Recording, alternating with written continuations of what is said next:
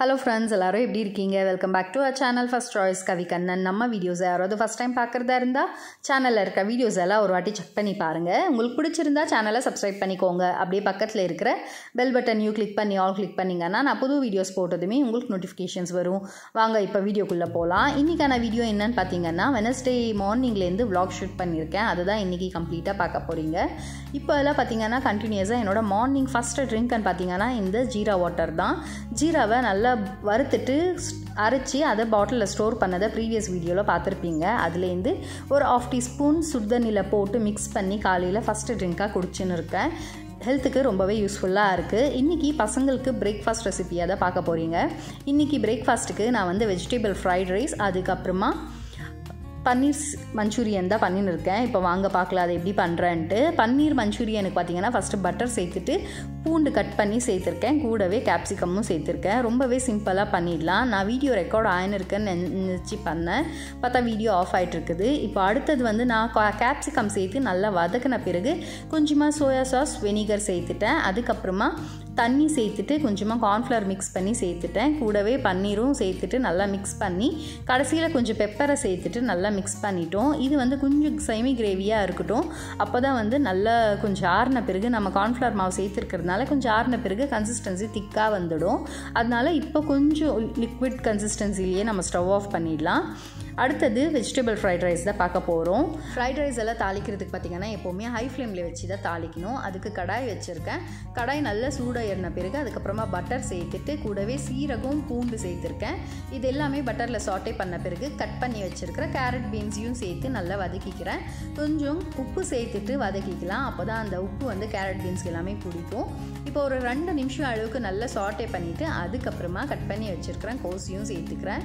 இந்த வெஜிடபிள்ஸ் எல்லாமே பார்த்திங்கன்னா ரொம்ப குக் ஆகக்கூடாது. கொஞ்சம் க்ரன்ச்சியாக இருக்கணும். அப்போ தான் வந்து ஃப்ரைட் ரைஸ்க்கெல்லாம் நல்லாயிருக்கும் அதனால் கோஸ் சேர்த்துட்டு இன்னொரு ரெண்டு நிமிஷம் மட்டும் சாட்டே பண்ணிவிட்டு அதுக்கப்புறமா நம்ம குக் பண்ணி வச்சுருக்கிற சாதத்தையும் இதில் சேர்த்துக்கலாம்.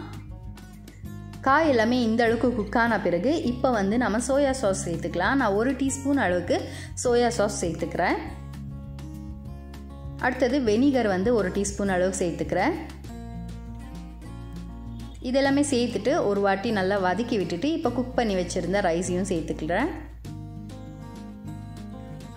ரைஸ் வந்து நம்ம மத்தியானம் லஞ்சு கொடுத்து அனுப்புறதுனால ரொம்பவே கொஞ்சம் நெட்டு நெட்டாக நம்ம குக் பண்ணிட்டோம்னா இன்னுமே மத்தியானம் சாப்பிட வந்து ரொம்ப ஹார்டாகிடும் அதனால கொஞ்சம் சாஃப்டாக தான் நான் ரைஸை வந்து குக் பண்ணியிருக்கேன். நம்ம சுட சுட சாப்பிட்றதா இருந்தால் இன்னுமே கொஞ்சம் முன்னாடியே நம்ம குக் பண்ணி எடுத்துடலாம். நான் லஞ்சு கொடுத்து அனுப்புறதுனால கொஞ்சம் ரைஸை வந்து சாஃப்டாக தான் குக் பண்ணியிருக்கேன். ரைஸை சேர்த்துட்டு ஃபுல்லாக ஒரு வாட்டி மிக்ஸ் பண்ணி விட்டுடலாம். இப்போது இந்த ரைஸுக்கு தேவையான அளவுக்கு சால்ட்டு சேர்த்துக்கிறேன். அடுத்தது காரத்துக்கு தகுந்த பெப்பரையும் சேர்த்து நல்லா மிக்ஸ் பண்ணிக்கிறேன். ரொம்ப சிம்பிளாக குயிக்காக பசங்களுக்கு பிடிச்ச மாதிரி இந்த ரைஸை வந்து தாளிச்சிடலாம். நம்ம இதே மெத்தடில் வந்து எக்கையும் சேர்த்து செஞ்சிடலாம். இப்போது பாக்ஸுக்கு பேக் பண்ணிட்டேன். இன்றைக்கி லஞ்ச் பாக்ஸுக்கு பார்த்திங்கன்னா ஸ்நாக்ஸுக்கு வந்து ஆரஞ்சு வச்சுருக்கேன். கூடவே நட்ஸ் வச்சுருக்கேன். பாதாம் பிஸ்தா இந்த ரெண்டுத்தையும் தான் இன்றைக்கி வச்சுருக்கேன்.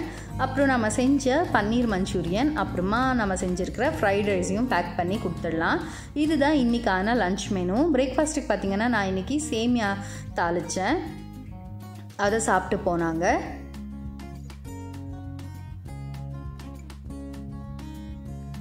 ரெண்டு பேருமே ஸ்கூலுக்கு அமுச்சிட்ட பிறகு அடுத்த வேலை பார்த்திங்கன்னா இன்றைக்கி கஸ்தூரி மேத்தி ப்ரிப்பேர் பண்ணுறதுக்காக வெந்தயக்கீரையை வாயின் வந்து இப்படி க்ளீன் பண்ணி அலசி ஆற வச்சிடுறேன். இதில் கொஞ்சம் கூட தண்ணி இல்லாத அளவுக்கு நல்லா ஆற வச்சிடலாம். நான் பார்த்திங்கன்னா இன்றைக்கி அலசி போட்டுட்டேன். நாளைக்கு தான் வந்து நான் இதை கஸ்தூரி மேத்திக்கு பண்ண போகிறேன் அதோட கருவேப்பிலையும் இப்படி காய வச்சு வச்சிடுறேன். நிறைய கருவேப்பிலை இருந்ததுனால கொஞ்சம் இப்படி அலசிட்டு இதுவும் காய வச்சு வச்சுட்டேன். இதை நம்ம தேங்காய் எண்ணெய் காசும் போது யூஸ் பண்ணிக்கலாம். இல்லாட்டி சாப்பாட்டுக்கே கூட நம்ம யூஸ் பண்ணிக்கலாம். அதனால இந்த கருவேப்பிலை பொடியெல்லாம் செய்யும்போது இந்த கருவேப்பிலை யூஸ் பண்ணலான்றதுக்காக அதுவும் நல்லா ஆற வச்சு வச்சுட்டு இருக்கேன்.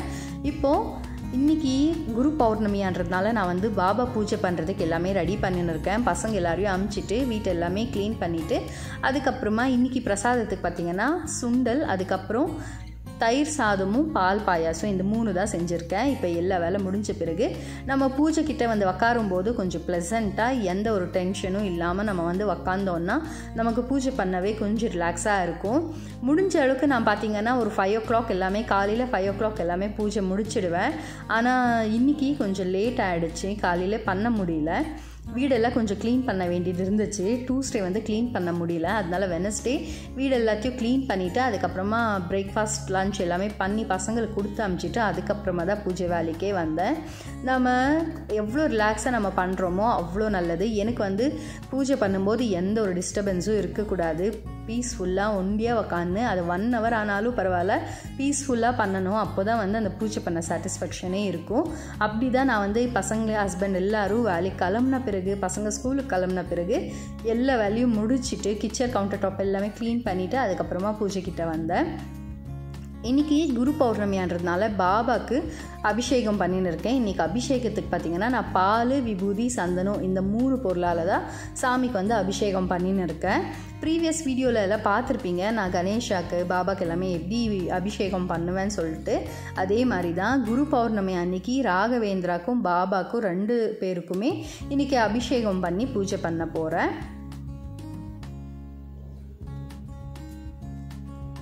இன்றைக்கி கோயில் எல்லாமே ரொம்ப விசேஷமாக இருக்கும். ஆனால் கோயிலுக்கு போக முடியல. வீட்லேயே வந்து பூஜை பண்ணிட்டோம். அந்த மாதிரி நம்ம முடிஞ்சால் கோயிலுக்கு போனால் நல்லது. ஆனால் இப்போ போக முடியலன்னா ஐயோ போலியேன்ட்டு ஃபீல் பண்ணுறத விட வீட்டில் இருக்கிற சாமியே நம்ம மனசார கும்பிட்டோம்னாலே போதும். அப்படி தான் வந்து நான் ஃபாலோ பண்ணுவேன். ஐயோ போயே ஆகணும். அன்ட்டு சொல்லி ஒரே டென்ஷன் பண்ணின்னு போக முடியலையான்ற ஃபீல் எல்லாம் பண்ண மாட்டேன். அதுக்கு டபுளாக வீட்லேயே வந்து பூஜை பண்ணி நெய்வேத்தியத்துக்கு என்ன வைக்கணுமோ எல்லாம் வச்சு பூஜை பண்ணிக்குவேன். பாபாக்கு அபிஷேகம் ஆன பிறகு அதே மணியில் ராகவேந்திர சிலையும் வச்சு அபிஷேகம் பண்ணிக்கிறேன். நம்ம வாரம் வாரமே அபிஷேகம் பண்ணால் ரொம்ப நல்லது. அப்படி பண்ண முடியலன்னா இந்த குரு பௌர்ணமிக்கு முக்கியமாக பண்ணணும். அதனால நான் பாபாக்கு பண்ணிவிட்டு அதுக்கப்புறமா ராகவேந்திர சிலைக்குமே இந்த மாதிரி பூஜை பண்ணின்னு இருக்கேன். ராகவேந்திர சிலைக்கும் பார்த்திங்கன்னா நான் பால் அபிஷேகம் முக்கியமாக எல்லா அபிஷேகத்துலேயும் நம்ம பாலை சேர்த்துக்கிறது வந்து ரொம்ப நல்லது. அதனால நான் எப்போவுமே பால் அபிஷேகம் சே பண்ணுவேன். அடுத்தது விபூதி சந்தனம் இந்த ரெண்டு பால் அபிஷேகம் பண்ண பிறகு விபூதி அதுக்கப்புறமா சந்தனத்தினால அபிஷேகம் பண்ணின்னு இருக்கேன்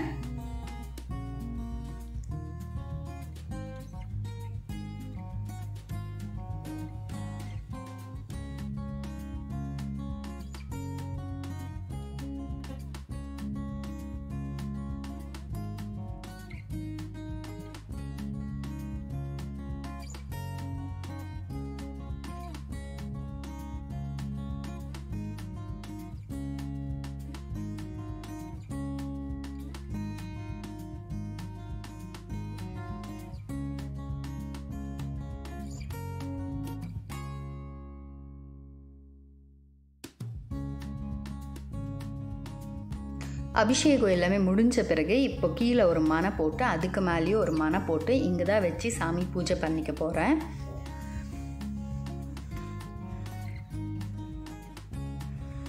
மன மேலே பாபா துணி போட்டுக்கினேன். அதுக்கப்புறமா அபிஷேகம் பண்ணி வச்சுருந்த சளியும் எடுத்து வச்சுக்கிறேன். இப்போது ஃபஸ்ட்டு வந்து சந்தனமும் குங்குமமும் வச்சுக்கணும். நான் வந்து சந்தனம் வச்சு குங்குமம் வச்சுட்டேன்.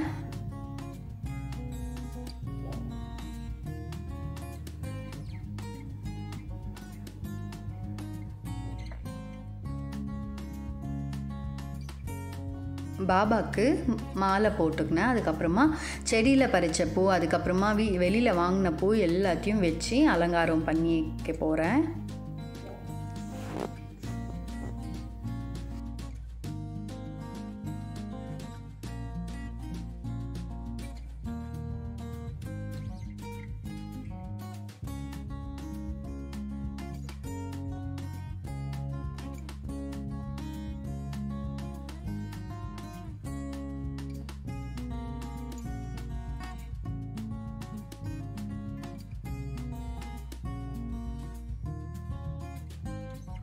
செடியிலேருந்து பறிச்சின்னு வந்த துளசி அதுக்கப்புறமா மல்லிப்பூ ரோஸு சாமந்திப்பூ எல்லாம் பறிச்சிட்டு வந்து ரெடியாக வச்சுன்னு இருந்தேன். அது எல்லா பூவையுமே சாமிக்கு வச்சு இப்போ அலங்காரம் பண்ணின்னு இருக்கேன்.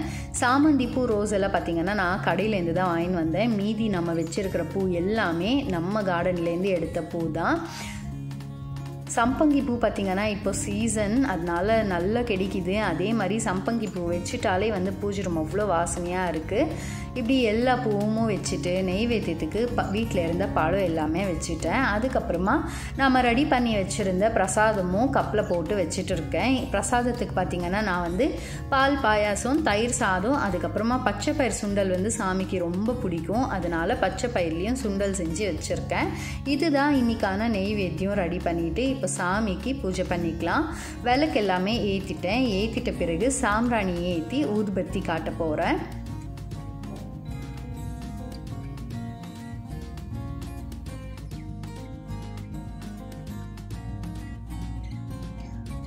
கற்பூர தீபாரத்தனையும் காட்டிக்கினேன். முக்கியமாக இன்றைக்கி சொல்ல வேண்டிய ஸ்லோகம் பார்த்திங்கன்னா குரு பிரம்மா குரு விஷ்ணு குரு தேவோ மகேஸ்வரா குரு சாக்ஷாத் பரபிரம்மா தஸ்மாய் ஸ்ரீ குருவே நமஹான்னு சொல்லி பூஜை பண்ணிவிட்டு ஹோம் சாய் ஸ்ரீ சாய் ஜெய் ஜெய் சை என் மந்திரத்தையும் சொல்லி பூஜை பண்ணிட்டேன். இப்படி தான் என்னோட குரு பௌர்ணமி பூஜையை வந்து கம்ப்ளீட்டாக நான் பண்ணது. உங்களுக்கும் இந்த பூஜை பிடிச்சிருக்கும்னு நினைக்கிறேன். அதே மாதிரி உங்களுக்கு இந்த வீடியோ பிடிச்சிருந்தா வீடியோக்கு ஒரு லைக் கொடுங்க. நம்ம சேனலை யாராவது ஃபஸ்ட் டைம் பார்க்குறதா இருந்தால் சேனலில் இருக்க வீடியோஸ் எல்லாம் ஒரு வாட்டி செக் பண்ணி பாருங்கள் உங்களுக்கு பிடிச்சிருந்தா சேனலை சப்ஸ்கிரைப் பண்ணிக்கோங்க. கூடவே உங்கள் ஃப்ரெண்ட்ஸ் ஃபேமிலியோட ஷேர் பண்ணுங்கள்